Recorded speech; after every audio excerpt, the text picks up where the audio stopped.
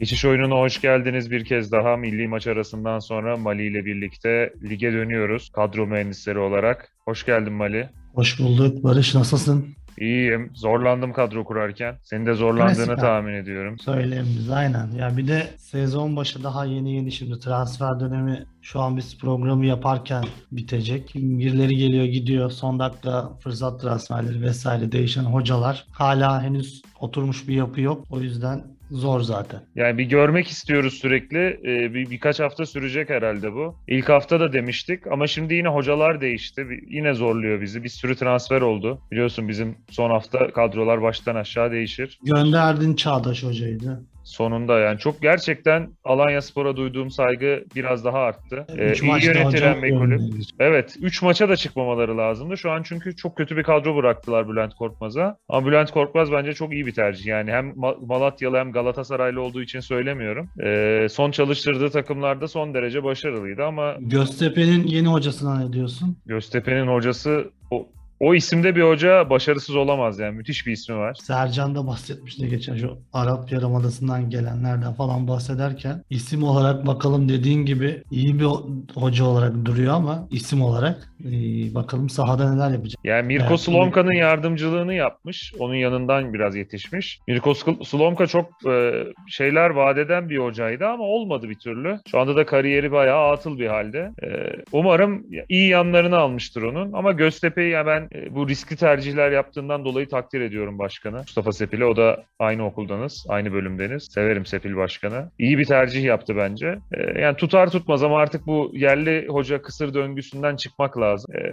bunun için bir adım attıkları için ben kendilerini tebrik ediyorum. Yani inşallah dediğin gibi Türk futboluna yararlı bir seçim olmuştur diyelim. İstersen başlayalım yavaş yavaş. Başlayalım. Ekranda yine benim kadromu görüyor e, YouTube'dan bizi izleyenler. Onu belirteyim. E, sen başlama Ali. Başlayayım ben yine yedekten iki tercih yapamadım. Cesur Ben de bir tane yapamadım. Biraz bekleyeceğiz yani çok zorluyor bizi. E, ucuz yollu bir defans alacağım ilerleyen dönemde. O yüzden tek kaleci tercihi yaptım ve Fenerbahçe'den Altay Bayındır aldım. Zaten ligde ilk 3 hafta sonunda e, gol yemeyen iki kaleciden biriydi Ersin'le beraber. E, kurtarışlara da artık ekstra puanlar var. Altay kalesine daha çok top gelen bir kaleci ve gol yeme oranı daha düşük olan bir kaleci. O yüzden Altay Bayındır'ı tercih ettim. Ben Fenerbahçe'nin Sivas Spor karşısında da gol yemeyeceğini düşünüyorum. Ağırlı, ağırlıklı olarak Fenerbahçe'den tercihlerim var ve Altay'la başladım.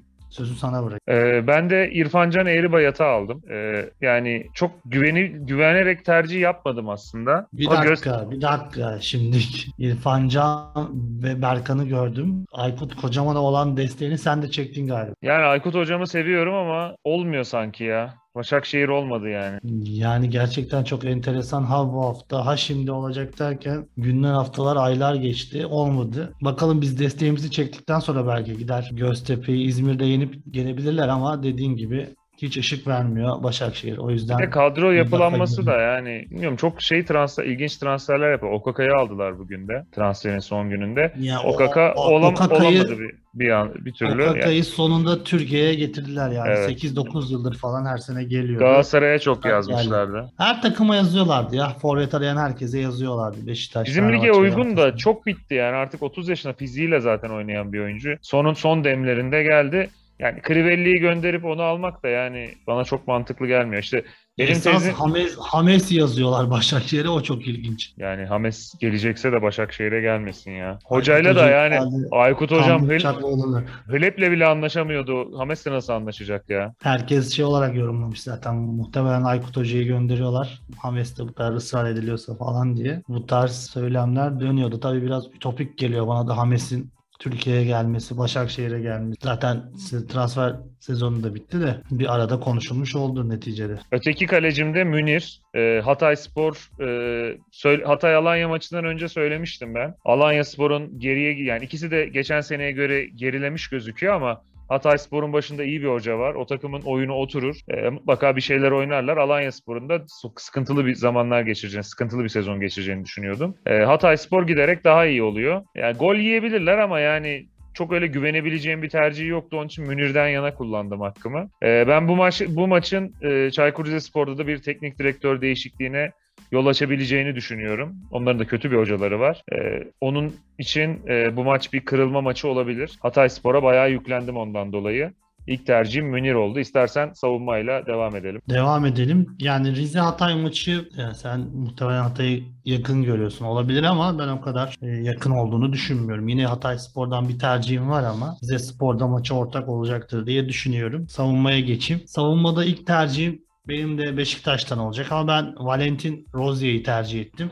E, Parayı gömdün Valentin- yani. Yani mecburen bir yerden almam lazım. Ee, o yüzden daha garanti bir tercih etmek istedim. Sen Rıdvan'ı tercih etmişsin ama e, Rıdvan'ın orada oynaması garanti değil. Ensakala da tekrardan antrenmanlara başladı. Milli aradan önce zaten takımla birlikte çalışıyordu. Bu milli arayı da takımla beraber geçirdi. Sergen Hoca'yı da son dinlediğim röportajlarında hep Rıdvan soruyor. Neden oynamıyor, neden oynamıyor? O da e, muhtemelen e, şeyden yakınıyor hoca. Yani altyapıdan gelen oyuncuların fiziki yetersizliğinden bahsediyor. İşte bugün de Can Bozdoğan örnek verdi. Gidiyor Can'a bakın diyor. Almanya'dan geldi 20 yaşında diyor. Bir Can'ın fiziğine bakın bir bizimkilere bakın diyor. Biz altyapıdan çıkanları 2 sene yetiştirmek zorundayız diyor. Bundan dem vuruyor. Muhtemelen Rıdvan konusunda da e, bu şikayetleri var hocanın diye düşünüyorum. O yüzden yine en sakala başlayabilir maça diyeyim. Ben Rozier'i tercih Bir anda oynatacağını sonra. zannetmiyorum en sakalının o olaydan sonra. Yavaş yavaş sokabilir. İşte bu Rıdvan açıklamalarını kafamda birleştirince biraz böyle hocayı aslında inceden ince Rıdvan'a mesaj veriyor gibi görüyorum. O yüzden belirtmek istedim. E, İkinci tercihim de yine çok garanti bir tercih.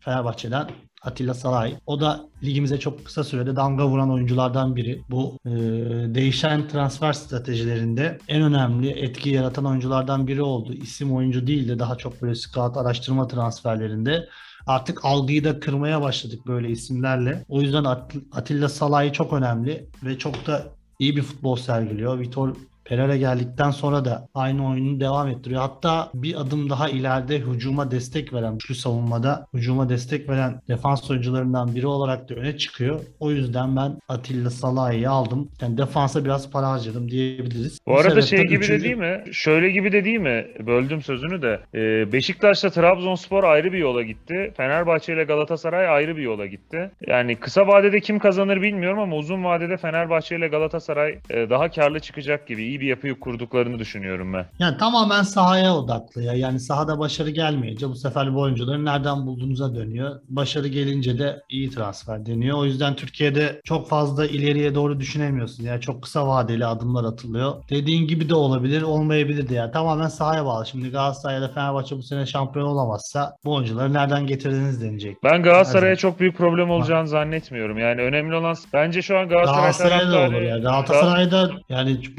bahsedilmiyor ama belki de son 20-30 yılın en çok parasını harcadığı sezona Yok. giriyor. Bence o kadar harcanmadı ya. Yani bonservis olarak haklısın. Uzun vadeli ama oyuncuların maliyeti geçmiş yıllarda ya mesela Ryan Babel'le sözleşme yapılıyordu. İnsanların gözüne gelmiyordu işte 2,5 milyon euro, 2 milyon euro imza parası işte falan. 10 milyon euro gömmüş oluyordun 3 senede ona. O parayı mesela kime gömdün? İşte e, Çikaldao'ya gömdün. Yani Çikaldao'dan mem- 700-800 bin euro maaş alıyor. Tutmasa satsan 6,5 milyon euroya aldın. 3'e 4'e satarsın. O paranın mutlaka geri dönüşünü sağlarsın. Sorun işte hep bunu bu dönüşümün bir yıla bu transfer dönemine sıkışması oldu. Onu da mümkün olduğunca yaydılar. Bence iyi bir transfer dönemi geçti. Ee, bakalım ama yani ya, ilerleyen haftalarda da seninle sık sık Ya konuşuruz, maalesef izleriz. saha sonuçları çok etkili bu durumda yani. Yani sahadaki oyun da önemli. Sonuç da önemli. Oyun da. Hoca çok sabırsızdı son zamanlarda. Çok oyuncu çiziyordu. Ee, yani bu sefer umuyorum ki sonuçlar kötü olsa da eğer böyle bir kadro kuruyorsan oyunculara sabretmen lazım.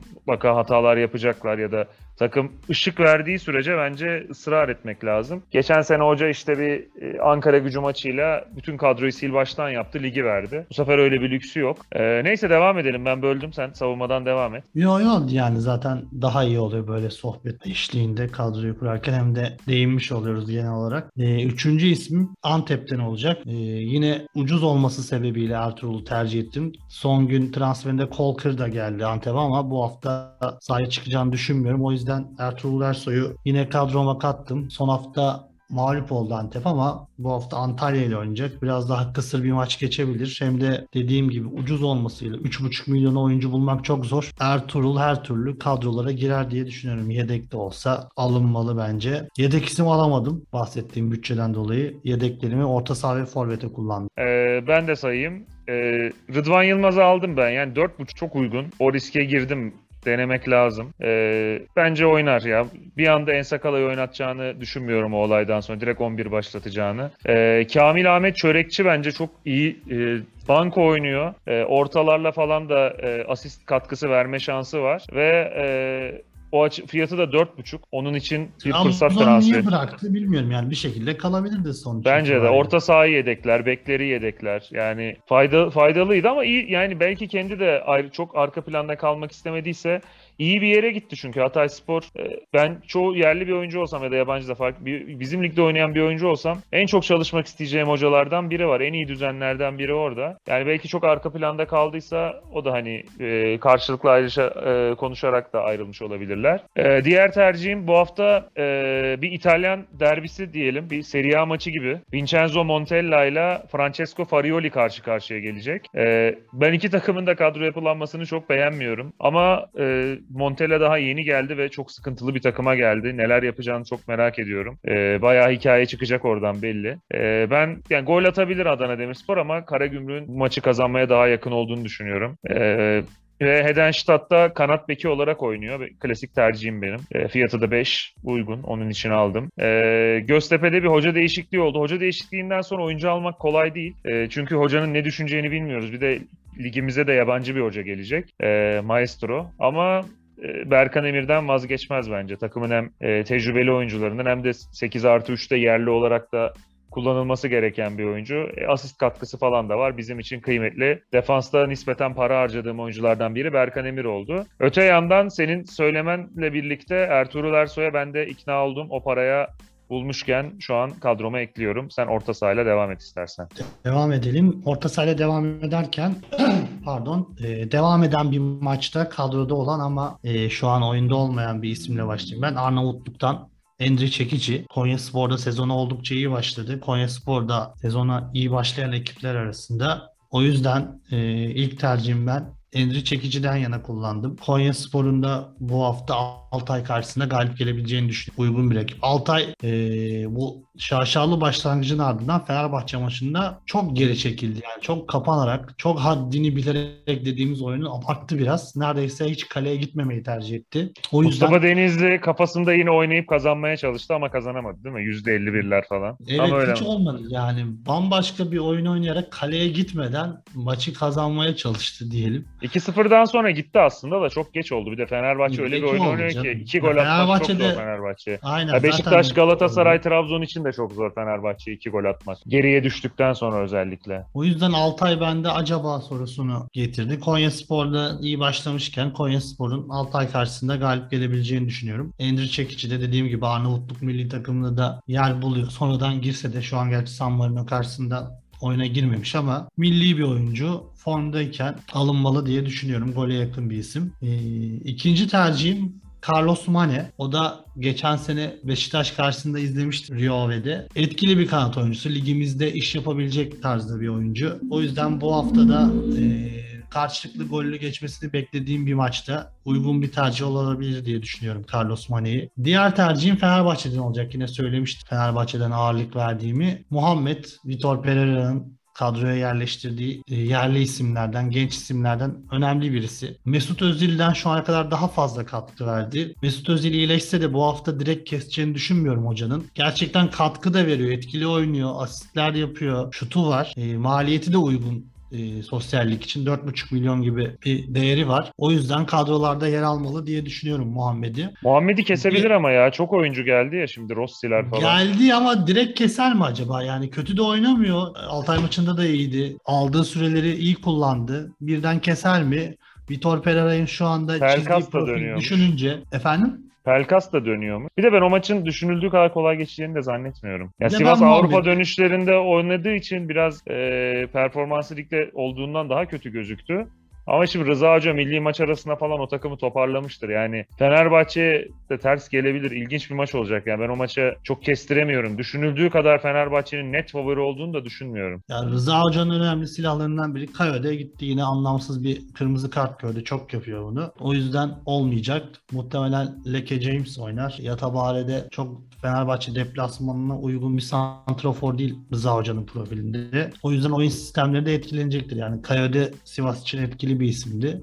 Gradel üzerinden oynayacaklardır ama Fenerbahçe'nin bu yapısında Sivas Spor'un işinin zor olduğunu düşündüm ben. O yüzden Muhammed'i uygun da maliyetiyle öneriyorum. Diğer isim senle yayın öncesinde konuştuk. İşte Halil'i almayı düşünüyordum. Halil'in sakatlığın devam ettiğini görünce Hatay Spor'dan Sabah'a yöneldim. O da geçen hafta Kuvarejma'ya selam çaktı. Mükemmel bir trivele golü attı. Zaten izleyen herkes görmüş. Geçen sene hep Sabah'ı alıyorduk ama diyorduk ki gol yollarında çok zayıf atamıyor. Boş kalelere kaçırıyor. Bu attığı gol çok çok ekstra oldu. Hepimizi şaşırttı. Sen de bayağı şaşırmışsın herhalde golü görünce. Yo ilk hafta falan da izledim. Lobanitse Galatasaray'a karşı falan da müthişti. Ya o takımını buldu biraz ya. Yani Ömer Hoca'yı tebrik ediyorum. Yok oyun içinde zaten hep Ya- etkili gözüküyordu ya bu son vuruş olarak yani. o güvenle de ilgili biraz ya. Yani şöyle şununla ilgisi olabilir. Ankara gücündeyken Ankara gücü kadro kalitesinden dolayı da çok geride oyunu kabul ediyordu. Lobanitse de o golleri kaçırdığında yani bize boş kale kaçırdı gibi, gibi geliyor ama 50 metre belki depar atıyordu. Sonra kale önünde o vuruş yapmak zor oluyordu. Yeteneklerini çok gösteremiyordu. Sadece hızını görüyorduk biz. Ama şimdi Hatay Spor daha önde basan, daha rakip kaleye yakın oynayan bir takım.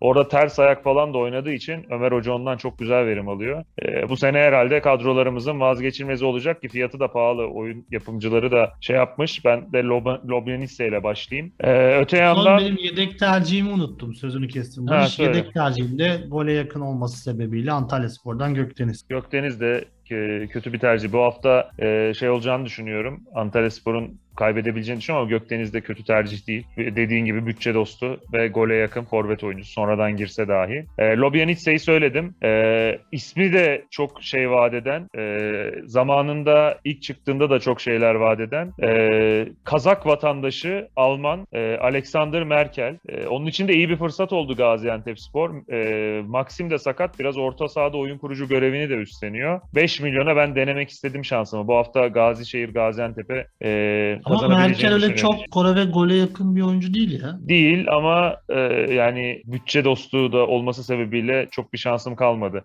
Bir de Maxim de sakat oynamayacak herhalde. Duran top falan da ve penaltı falan olsa belki attırırlar. Gerçi Muhammed Demir geldi. Şimdi Muhammed Demir'e attırırlar onu.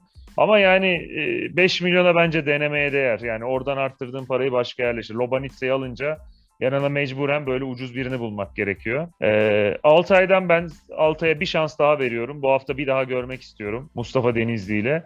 Yani ligimizde bu sene bu yabancı sınırından dolayı kalite çok düştü. Yani e, onun da etkisini görüyoruz. E, geçen sene hep bir sürü iyi takım oluyordu, seçemiyorduk. Bu Bugün sene hepsi Sergen kötü, Hoca- onun için seçemiyoruz. Yani Söyledi canlı yayında izledim. Yani bu Türk kuralı bizi değil Anadolu takımlarını etkiledi. Onlar daha çok düşünsün. Ya. Anadolu takımlarına şöyle bir faydası oldu. İşte Berkan'ı Berkan'ı Galatasaray'a ikiye satacakken dörde sattı. Ama Yok o açıdan değil. Ama- Oyuncu bulmak konusunda. Biz Biliyorum, iyilerini biliyorum. zaten alıyoruz dedi yani. Ay- Tamam, ben de onu söyleyeceğim zaten. E, öyle oluyor ama sen dört de alsan eline alacak bir oyuncu bulamıyorsun. İşte Emre Çolak'ı alıyorsun yani mecburen. İşte yani e, Ya da gidip İngiltere 2. 3. liginden oyuncu getiriyorsun. işte evet yani Para çok gibi. çok saçma. İngi- onların bulduğu yine kötü bir oyuncu değil de yani forma şansı cepte oynaması doğru değil. Denemek için alsınlar. Forma rekabeti. Arioli'nin de şöyle bir eleştiri getireceğim. Hep aynı tip oyuncu. Yani Efe de aynı tip. İşte er, Erhun muydu? Er, e, ismini unuttum. Evet. Özür dilerim. Erhun'du galiba. E, o da aynı tip oyuncu. Biglia da aynı tip oyuncu. Yani orada hep aynı tip oyuncularla oynamaya çalışıyor. O yüzden bir e, sıkıntı Ya yaşıyor onun için bence. pasla çıkmak çok önemli. Pasla çıkabilecek oyuncu buluyor. Yine yani gitmiş e, Erhun'u falan bulmuş oynatmaya çalışıyor. Bir de Karagümrük'ün de söylüyorum e, kadrosunda fazla çok fazla bitik oyuncu var. Ben Farioli'yi o açıdan çok başarılı buluyorum. O takım Ama Beşiktaş maçında gördüm ki çok zorlandılar. Yani yapmaması lazımdı artık. Çok zorlayıp hiç de başarılı olamadılar. Yani 10 kişi bile hiçbir şey yapamadılar. O Ya işte yüzden dört biraz büyükler bu sene çok fark var diğerleriyle aralarında. Yani onları zorlayabilecek 2-3 takım var. Neyse ben sayıyordum. Sezar Piniares'i aldım ben Altay'dan. Bir şans Son daha maç veriyorum. yedekti. Oyna, Fenerbahçe oyna, maçında. oyn- oynar bu maç. Oynayacağını tahmin ediyorum. Ee, ve de e, şimdi Bülent Korkmaz yerli oyuncuları çok sever biliyorsun. Ee, iyi de verim alır. Yani beklenmedik oyunculardan. Ee, ben onun için Alanya Spor'dan uygun maliyetiyle Umut Güneş'i de aldım. Ya, Alanya 4 milyon. Spor'u zaten oynayacak oyuncu kalmadı. Ben de Evet. kimi alsam diye baktım. E, kimseyi almadım. Çünkü Giresunspor'la oynuyorlar. Bu seneki Giresun- transferler çok kötü yani. Hepsi 30 yaş üstü. Şimdi Kandeyaş kötü bir oyuncu değil de şimdi Alanya Spor'un tran- transfer stratejisine uygun mu? Ee, Leroy Fer mesela. Yani iyi bir transfer Leroy Fer. Bizim ligde iş yapabilir. Ama yani geçen seneki orta saha olsa mesela Siopis, Bakasetas veya, veya Berkan bu üçünden ikisiyle birlikte Leroy Fer olsa güzel olur. Köksal Baba da gitti son dakika etkiledi tabii Alanya. Ya işte hepsi ayrı ayrı değişik bilemiyorum yani. Kötü bir kadro yapısı var Alanya'nın. Oynatırsa Bülent Hoca oynatır. Alanya Yok. Spor'la Trabzonspor'da bu kadar yüksek gerilim yaşamışken bu kadar e, aralarında transfer ilişki olması da değişik bir hadise. Ben Tabii, ben Siopis'i konuda. 1 milyon euroya satmayı iyi iş olarak görüyorum yani. E, paraya çevirmek değil. Siopis gibi bir oyuncu bulmak zor değil. E, iyi bence Alanya Spor iyi yapıyor. Yani satabildiği herkes sattı da yerini yine para edebilecek oyuncularla çok sat- dolduramadılar. Çok sattılar yani çok sattılar. Ama onların işte scout kaldı. sistemi iyi çalışıyordu. Bu sene pek scout transferi yapmadılar. O sorun. İstiyorsan forvete geçelim. Senin de kaptanın forvette herhalde. Ben de kaptanımı görüyorlardır YouTube'dan izleyenler. Forvette senin de öyle herhalde. Açıklamadık. Biz Benim yok herhalde. Forvet'te Sokol Çikaleşi direkt e, kaptanla başlayalım. Sen de az önce söyledin zaten Konya Spor'un e, maça kazanmaya yakın olduğunu. O yüzden biraz Konya Spor'a yöneldim ve Çikaleşi'yi de kaptan olarak tercih ettim. Riskli bir tercih olabilir. Evet. Ama ben iş yapacağını düşünüyorum Çikaleşi'de. Yani Konya Spor sezonu fena başlamadı. O sebepten oradan yürüyebildiğim kadar yürüyeceğim ve Çikaleşi'yi kaptan yaptım. Ee, ikinci tercihim Ahmet Musa olacak. Karagümrük'ten bahsettik. Karagümrük'te fark yaratan oyuncuların başında geliyor. Farioli defanstan oyunu kurarak çıkmaya çalışıyor diyoruz ve bir de hızlı kanat oyuncularını çok seviyor. O, o sebepten e, Ahmet Musa oyunu için çok önemli. Bir de son transferleri zaten Karamo. Heh, Karamo ismini sen söyleyecektim. Yine benzer tipte bir oyuncu. Lens'e falan yönelmişlerdi. Hani e, aradığı çok net belli olan bir hoca. Ya Lens'e niye çok yöneliyorlar ben de onu anlamıyorum ya. Niye Lens'e yöneliyorlar yani?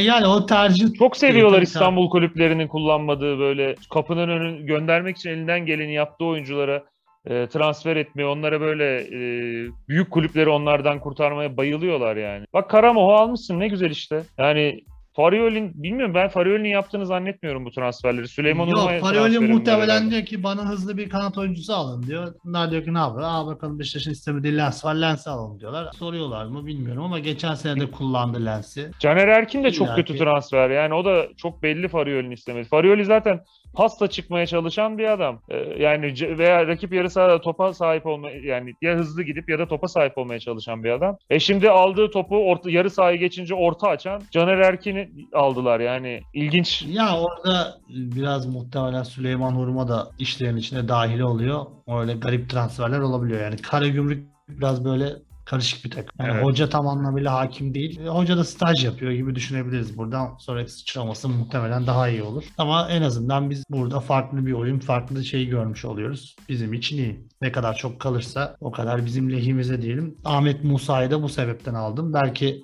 biraz kanatta kalıyor. Oyunda forvet ama ben yine de tercih ettim. Karagümrük için etkili olacağını düşündüğüm bir isim. Üçüncü tercihim aslında biraz da sana sorayım. Berisha'yı aldım ama ne diyorsun sen daha? Ya ben Fenerbahçe'ye çok güvenemediğimi söyledim. Ya bilmiyorum direkt başlatır mı Pereira? Yani Valencia Va- zaten Valencia'yla da ha doğru. Ekvator Uruguay maçı var. Muslera da oynamayacak muhtemelen. İkisi de pazar sabah karşı falan gelmeleri bekleniyor. Ekvator Doğru, o da var.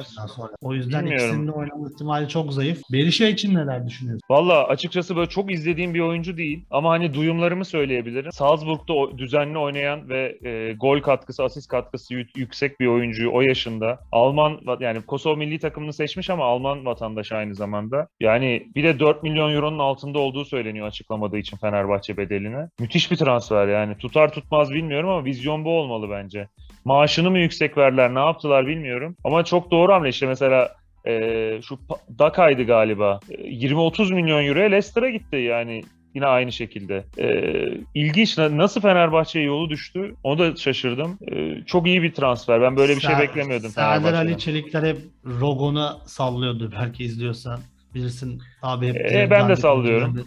Dandik oyuncularını getiriyorsun. Bir kere de iyi oyuncu getir diye. Muhtemelen Rogo'nun bir kıyağı oldu Fenerbahçe. Pelkas da onlardan ama onlar yani şey şu sağlıksız bir şey. Gidip bir tane menajerle bu kadar çalıştığın zaman sıkıntı yok. Mesela herkes şey olarak görüyor. Max Meyer'i de işte Aynen, onu bonus- alınca yanında verdi diyorlar. geldi. Ya Max Meyer e, yani şöyle söyleyeyim. Salih Uçan'ın Alanya'ya gittiği hali gibi biraz. Ve potansiyeli tabii ki çok daha yüksek. E, Max Meyer'i şey olarak hatırlayabilirler. E, Galatasaray'la Schalke eşleştiği zaman 95 doğumlu. E, işte 17 yaşında falan da o zaman. E, Almanya'daki maçta yanılmıyorsam kadrodaydı. O zaman işte şey takımın yıldızı Lewis Holtby'di. Holtby'yi devre arası Tottenham'a satmışlardı.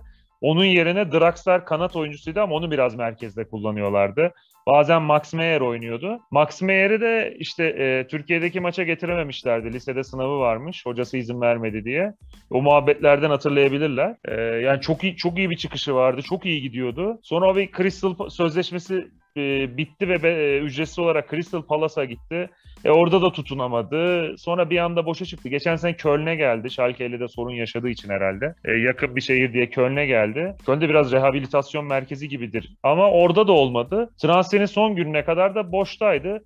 Yani çok yüksek bir maaş almadığını tahmin ediyorum. Son güne kaldığı için. Biraz hani o Fenerbahçe'ye mahkumdu. Yani iyi bir deneme. Şey bir transfer değil öyle herkesin aklına işte şeyler geliyor bu e, Lemoslar işte Diego E, Alves tabii miydi? Onlar geliyor da gelince hiç insanın öyle değil. aklına geliyor. Hiç öyle değil. Bence iyi bir transfer o da. Ya tutmasa bile çok büyük bir kaybı olmaz Fenerbahçe'nin. Onu bir şekilde bir yere gönderirler ya. Kimleri nerelere gönderdiler. Ee, Yani sonuç itibariyle evet mantıklı bir transfer ve ben Fenerbahçe'ye Sivas maçında çok aşırı güvenmiyorum. Ee, Tamam ya- anladık sen zaten için- güvenmiyorsun. ama onun için ama aldım. en kötü oyuna girer. Onu kesin herhalde. Yok ben, ben Berisha'nın 11 başlayacağını düşünüyorum. Çünkü Evet. başka alternatif yok. Serdar Dursun zaten sakatlığı atlatmadı. Valencia e, dediğim gibi dönmesi çok zor. Türkiye'ye Fenerbahçe'nin de öyle bir kadrosu zor. var ki. Çok geniş bir kadrosu var yani. Çok geniş diyorsun ama bu maça forvetsiz çıkabilir. Biliyorum ama yani hepsi geldiği zaman orta saha falan yani nasıl bir 11 çıkacak, nasıl 18 Ama çıkacak işte aklım almıyor yani. Hocanın istedikleri sonradan olduğu için orada biraz planlama sıkıntısı yaşadılar. Tabii bu farklı programların Her gün biri geldi yani son transfer döneminin sonunda. O yüzden değişik bakalım göreceğiz. Evet, sen Yedek devam et. tercihimde benim her hafta alacağım Umut Bozok 5 milyonuna. Geçen de söylemiştim. Sonradan girse de golünü atardı. Galatasaray maçında da sonradan girdi golünü attı. Ben yine Umut Bozok'u öneriyorum herkese. Mutlaka yedek kadrolarında bulunsun diyorum. Ee, Ahmet Musa bende de var onu söyleyeyim öncelikle. Ee, Hatay Spor'dan da ben El Kabi'yi aldım. Çünkü Diouf'u o kadar beğenmedim. Yani Diouf'ta bir e, Erik abi geçen hafta oyunda yoktu değil mi? Sanki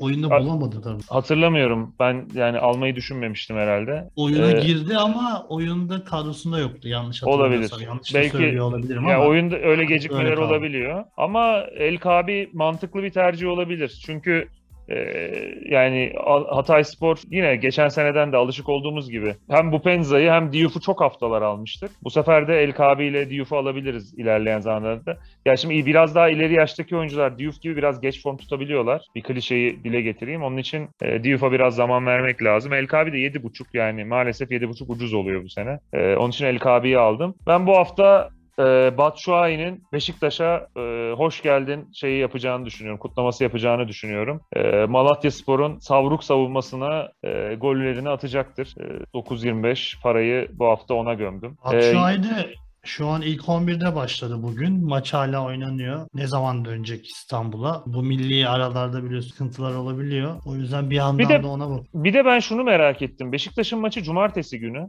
Bunu Beşiktaş mı Evet. istedi acaba? Çünkü Galatasaray cuma tercih ediyordu 2-3 sene önce Şampiyonlar Ligi'ndeyken. Yani Şöyle milli maç olduğu zaman cuma olmuyor maçlar. yo olu- olabiliyor. maçı. Olabiliyor. Artık bu değiştikten sonra olabiliyor. O biraz kulüplere bırakıyor. Mesela baktım ben fikstüre Lille Cuma akşamı oynayacak. Bizim ya Beşiktaş tercih etse Cuma akşamı oynayabilirdi de belki milli takımdan oyuncularını falan düşünerek cumartesi tercih etti.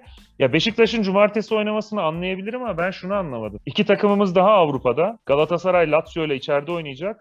Fenerbahçe Frankfurt deplasmanına gidecek. Ee, ikisi de pazar günü oynayacak maçlarını. Yani onlardan biri de cumartesi günü oynayabilirdi aslında. Yani Gün farkı kulüpler mi istemedi acaba? Bilmiyorum. Avrupa, Avrupa Ligi Perşembe, Şampiyonlar Ligi Salı Çarşamba olduğu için arada bir gün olması normal.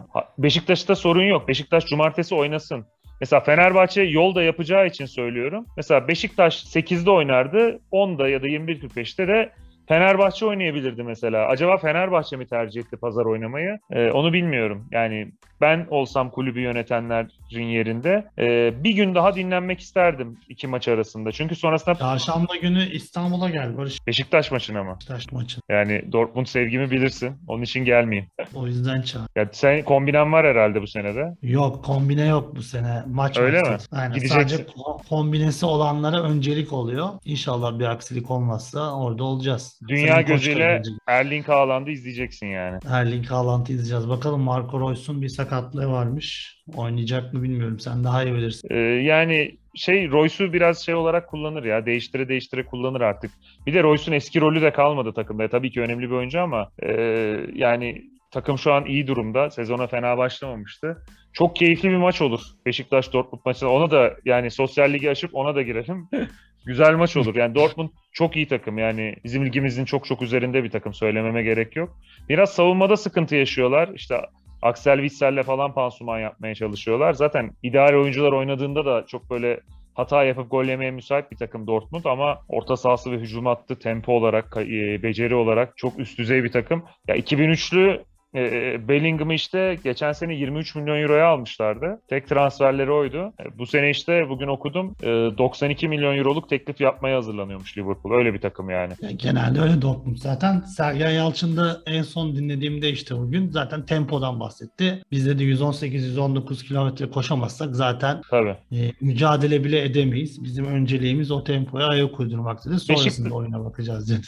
Beşiktaş de Dortmund'la içeride başlamak iyi bir şey bence. Çünkü kay- kaybetse bile dünyanın sonu değil. Dortmund muhtemelen bu grubu rahat bir şekilde lider bitirecek. Yani bir şu uzun bir ara, bir aradan sonra şampiyonluğa dönüşte e, bir pasını Dortmund karşısına atıp e, yenilse bile bir ışık verse sonra iyi bir şekilde başlayabilir grubun geri kalan maçlarına. Neyse ben son adamımı da söyleyeyim. Senin bu senenin bu pensası dediğim Bamba'yı aldım ama Umut Bozok da aklımı çelmiyor değil. Son ana kadar düşüneceğim. Ya Umut Bozok'u sene her hafta söylüyorsun. Ben bu hafta unuttum yine. Ee, onu alıp böyle e, orta sahada bir değişiklik yapabilirim. Mesela Pinyares'i değiştirip parayı ya da Merkel'i değiştirip e, daha iyi birini de alabilirim. Bir de bütçem de artacak zaten zamanla. Ee, bakalım. Kaptanın Batshuayi ama yani Batshuayi'yi kaptan yapan çok olur herhalde bu hafta.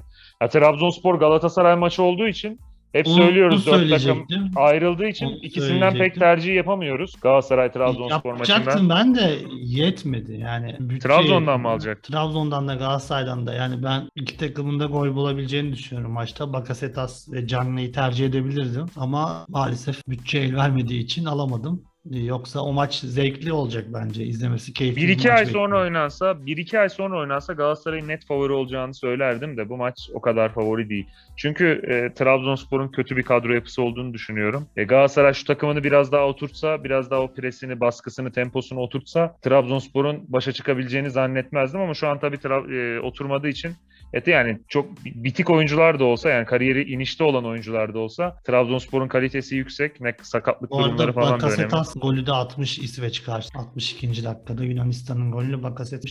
Şu an maç 2-0. Yunanistan İsveç karşısında önde.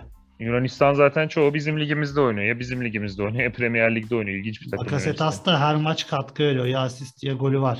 Milli takımda da çok etkili. Ya Trabzonspor'da zaten Bakasetas da olmasa ya Trabzonspor'da Bakasetas'a bir şey olsa yani sadece gol asist katkısı için değil de yani oyunun iki yönünü oynayan az sayıda oyuncudan biri takımda. Yani o takımın çimentosu gibi şu an Bakasetas. Ee, bir Bakasetas'ın fikstüre bakalım istersen. Konuşmadığımız ka- konuşmadığımız maç var mı? maçı vardı. Ondan da Konya Altay'ı konuştuk. Seninle biraz ayrıldık orada. Beşiktaş Malatya Spor maçında net Beşiktaş'ı favori görüyoruz herhalde. Ee, Kayseri Kasımpaşa konuşmadık. Ee, Ben işte Gol- oradan tercihlerim var. Carlos Mane ile Umut Bozok'u tercih ettim. karşılıklı Yani- gol olabilecek bir maç orası o da yani. Muhtemelen Şöyle karşılıklı 1-1, gol 1-1, beklediğimiz maçlardan 2-1 biri. öyle bitebilir gibi. Kasımpaşa'da enteresan bir takım yani genelde zevk veren bir oyun oynuyorlar. Böyle çok katı savunma yaparken görmüyoruz Kasımpaşa'yı. O yüzden yine açık bir maç bekliyorum ben orada. Bu arada Bülent Korkmaz için de çok iyi bir maç var. Ee, ligin belki de en zayıf takımlarından biri. Senin de e, yakın olduğun Giresunspor'la oynuyorlar. Ya Giresunspor'da bahsedecektim unuttum. Okan Kocuk yani Vakayeme'den yediği gol gol falan. Zaten zayıf bir ekipler. Bir de kalede böyle handikaplar yaşayınca işleri çok daha zor oluyor. Çok daha net bir kaleci bulabilirlerdi bence. O yüzden Giresun'un işi Ya çok zor onlar yani. da şey şeyi düşündüler herhalde. Yerli alabilecekleri en iyi o. Bir onu koyalım sonra yabancı bulabildiğimizi alıp bir kadro kuralım dediler de. Yani hiç çok hazırlıksız çıktıkları belli lige. Ee, zor bir sezon olacak Giresunspor için. Yani şey olur gibi geliyor bana. Ee, birkaç hafta sonra böyle e, riskli tercihlere yönelebilirler hoca konusunda. Böyle Yılmaz Vural gibi falan. Hani e, bir kalitesiyle değil de böyle. Yılmaz Vural'ın ben bu sene e, çok şans bulacağını sanmıyorum. Ya Yani Yılmaz son Vural olmaz. Hani böyle riskli tercihler var ya ligimizde. Yılmaz Vural, Hikmet Karaman. Hani bitti denen takımları sadece alan hocalar artık. E artık inşallah onlar gelmez ya. Yeter artık. Ve yani, gerçekten. yabancı işte yabancı istiyoruz zaten onu istiyoruz. Sıkıldım yani. Bu Yılmaz döngü. Konuşmaktan da sıkıldım. Yani. Ya yeter. Bu Tamam, sene takla Gülüyoruz, eğleniyoruz da yeter ya. Yeter. Ee, var mı eklemek istediğim bir şey? Bayağı Şampiyonlar Ligi'ni dahi konuştuk. Bayağı dolu dolu konuştuk ya. Her şeyden bahsettik. Özlemişiz. Bir milli arada maalesef. Vallahi evet. Canımız sıkılıyor. Konuşmayı özledim. İnşallah güzel olur bu hafta. Dinleyenler için, bizim için. Herkese iyi bir hafta diliyorum. İyi bir hafta diliyorum ben de. Ben önümüzdeki hafta tatilde olacağım ama programı tatilden de çekmeye çalışacağım. Kardeşim tatilim bitmedi ya. İ- İlk defa ilk defa tatile çıkacağım. Bir tek bayramda git. Malicim. Ta- tatil sayılmıyor mu bayramda? İşte bir hafta tatil yapmıştım. Bir, bir hafta daha yapacağım. İznim yeni geldi. Ee, onun için ama şey yapmayacağım yani. Ee, kanalımızı ihmal etmeyeceğim. O tatilden de ben yayına katılırım. Beyaz futbol tatilde Jets 2'den artık bir program yaparsın. Jet Ski'den ee, yorumlarımı yaparım. Hadi Eklemek bakalım, istediğim bir şey var mı? diyelim sana o zaman. Yok şu an yeterli fazla fazla konuş dediğim gibi. Herkese bol şans diliyorum. Sana da bol şans. Teşekkür ederim. Ben de sana bol şans diliyorum. Ee, bir sonraki hafta görüşmek dileğiyle. Beğenirse beğenilerinizle, yorumlarınızla YouTube'dan izliyorsanız e, ya da paylaşarak e, bize destek olursanız da seviniriz. Bir sonraki hafta görüşmek dileğiyle. Hoşçakalın. Hoşçakalın.